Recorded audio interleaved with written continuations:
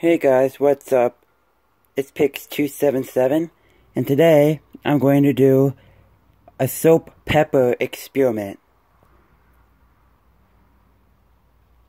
So, first what I'm going to do is I'm going to put water on this plate.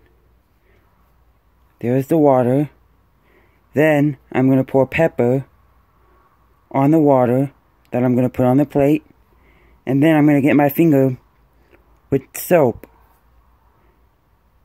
And then I'm going to put my finger on the water with the pepper on it.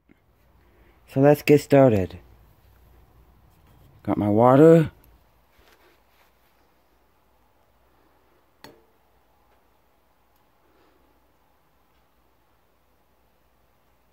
That should be enough water. Now I got my pepper.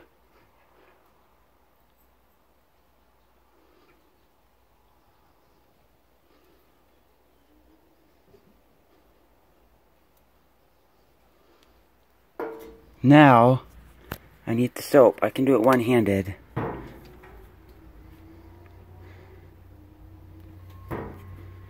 Got the soap on my finger, rubbing it around. And now, here's the cool part, YouTube.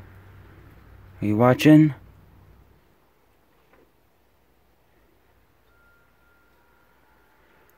Whoa! That was cool all the pepper went to the side of the plate because the soap didn't like the pepper. So it moved to the side of the plate which is cool.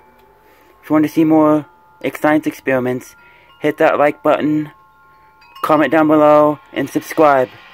Thanks for watching. Bye